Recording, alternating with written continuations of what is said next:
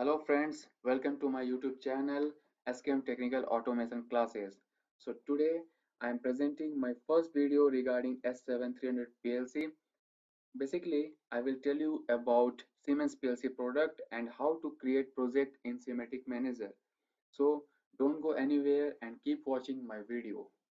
So I'm going to tell you about how to create project in S7300 but before that I will give you some uh, short brief on some topics which you need to know before starting the project in SIMATIC Manager. So first thing which I would like to tell you about different PLC model of Siemens.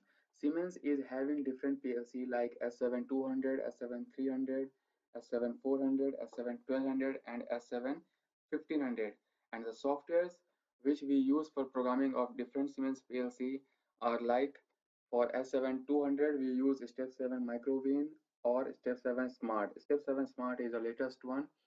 For S7300 and for S7400 we use SIMATIC Manager and TIA Portal.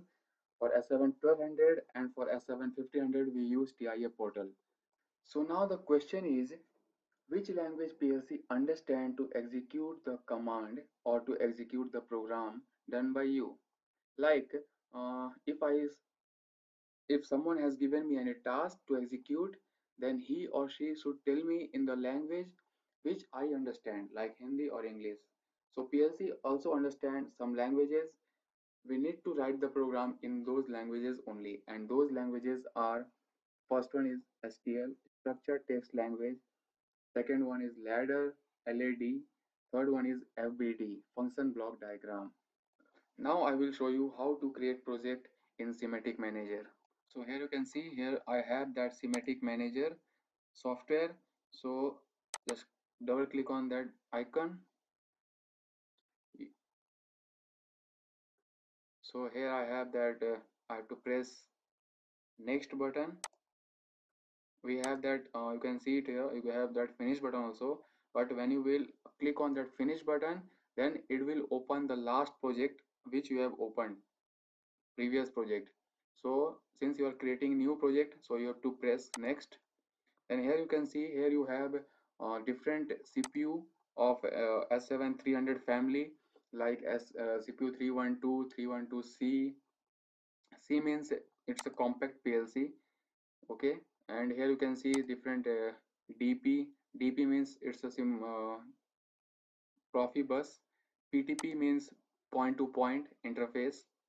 Then uh, we have point to point interface then we have a pndp pn means profinet interface and this like uh, this cpu is having profinet as well as profibus interface.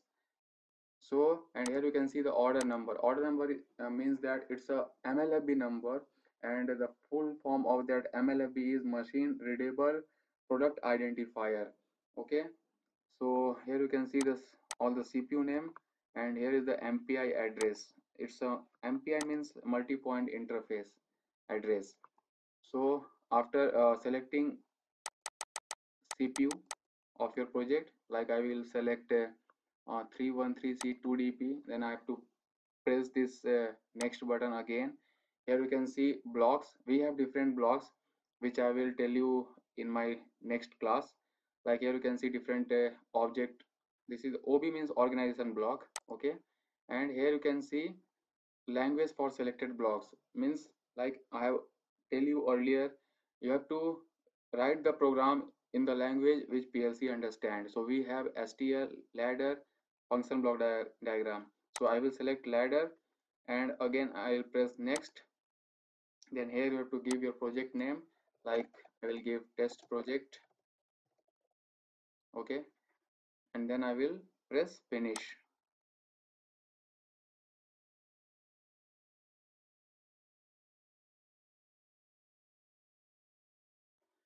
so here you can see the windows of the uh, software. This is the project tree. Here is the hardware. You have to do hardware configuration before starting your project. So that also I will cover in the next video. And this is your project tree. You have source you have blocks. This is the organization block. This is the main block which uh, runs after some interval every time. So here you can see you have that uh, different organization block different object function block, function, data block, data type, variable table. These all things I will cover in the next video.